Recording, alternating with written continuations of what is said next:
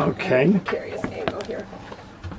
Depending on, you might have to put your feet over here or your feet outside the door. Right. Okay. Stick your hand in there, grab the handle, pull the handle out, jerk it.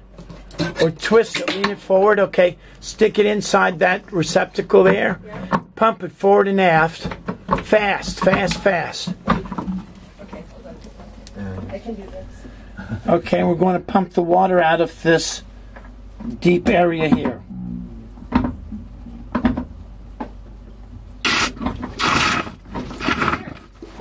Okay, so there you go. You know it's working. Okay. Okay, so you can go ahead, pull the handle out, and put it back into that little, uh, Okay, those two little snaps. Yes. Now on this engine, the oil pressure light is on. Um, We never turned it off. that might be a dashboard light. We'll look at that in a minute. Go ahead and put the handle back in Yep. place. I'll help you down here. Goes here. Okay, let me twist that around a little bit. I'm in the bottom. You're in the top. Okay, go ahead and close the door.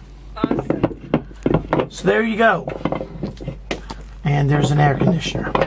Yeah, there's one of them. Okay, and then we've got the battery powered bilge pump, 2,000 gallons per hour down there. One of three, yes.